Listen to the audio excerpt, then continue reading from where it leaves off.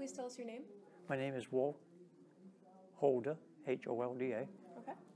And what have you brought to the to the Uh, today? I believe I have the original charter of the Jew- Jewish Synagogue of Sunbury, which is dated 1919. And uh, the original charter of, of this uh, item is that at one time it was a Methodist church, okay, and uh, the Methodist church had it, I guess, in the 1800s, and then they turned it in, they sold it to the Catholic Church, which was St. Michael's. Uh, and then St. Michael's had it for a few years, I guess. And they decided to build down on Market Street in Sunbury, Market in front. And uh, they sold the rights, to the, I guess, the property to uh, the Jewish synagogue people.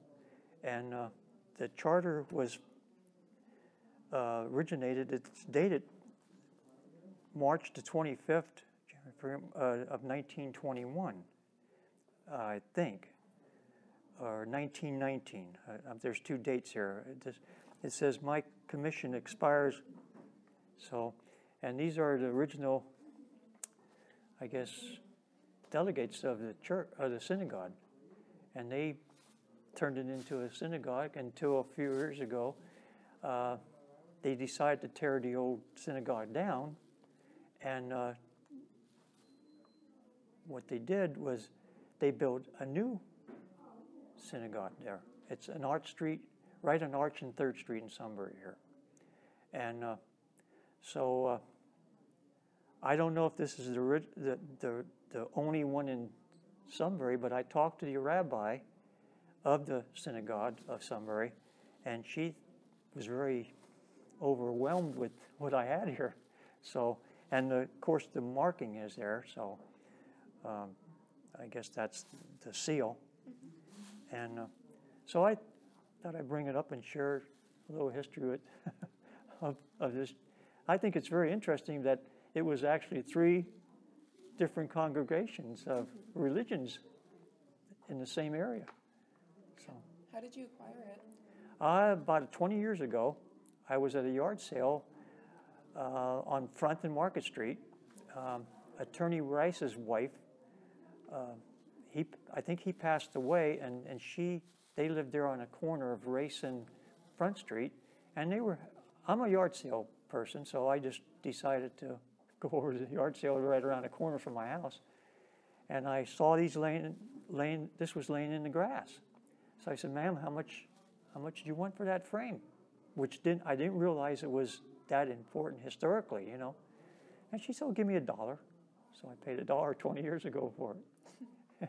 so I, uh, I sort of took pride in it because, and uh, I showed it to the rabbi of Sunbury, and they were very overwhelmed with seeing it. She, I think it was, it's the original charter. And you had mentioned earlier that you recognized some of the names on it. Yes, yes. They, were all prompt businessmen in this area. Um, Mike Miller, I don't know what exactly what he did, but uh, now Markle, Markley, I don't know if it was him, but he, he passed away. He lived right across from St. Michael's on uh, Church on Market Street, and I used to deliver papers to him. And I don't know if it's if it was, he was 90 some years old, so I would probably presume this is when he passed away. So I would presume he was one of the founder, uh, you know, charter signers here. And, and then uh, Hirsch, I don't know who Hirsch was, but Rosenblum, now they, they were very prompt people in this area. Uh, the Rosenblums, I worked for, I think, probably his nephews or sons. They had a candy store on, back in the 50s on 2nd Street in Sunbury called Hout's Tobacco. They, they sold wholesale candy and uh, cigarettes and so on. And it was a wholesale place. And they also had a franchise for Pabst Blue Ribbon Beer and Sunshine Beer, which Sunshine Beer was made in Reading. And uh, I worked, uh, th- their names was Abe Rosenblum and uh, Max, Max Rosenblum. They were brothers. And I worked for them for about 10 years. And uh, uh, H. Rosenblum, which I think would probably be Herschel Rosenblum, and uh, Michaels, I'm not sure, I tried to inquire who Michaels was. Now, he was from Selinsgrove, the rest of them were all from Sunbury. And uh, Mike Miller was the pre- the president of this, the new organization of the synagogue. And uh, he was the president, and Morris Hirsch was the secretary, and so was Markley.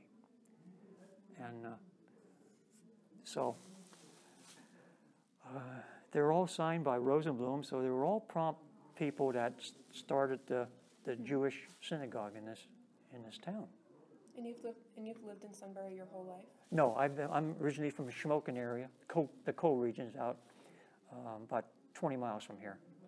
I'm originally from Shamokin area, and I came here back in 50, 53.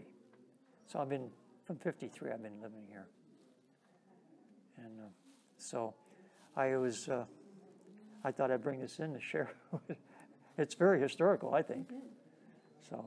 What got you into like um, history and like Uh, I just like to collect things. I, I've been collecting, I'm, I'm 72. I, I've been collecting since I'm nine years old.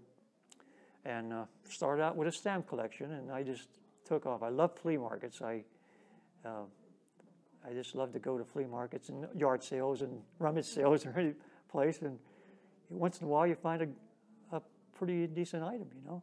Yeah. I just love to collect things. So. Do you have any final thoughts? Um, no, I just, uh, I'm just happy to share it with anybody that, you know, appreciates local history. Yeah. I have a lot of ho- local history stuff, but this I thought was very important. So I, I dug this out. It took me an hour to find it. My, my house is packed. Well, thank you very much for coming in. You're welcome. I thank you for your interview.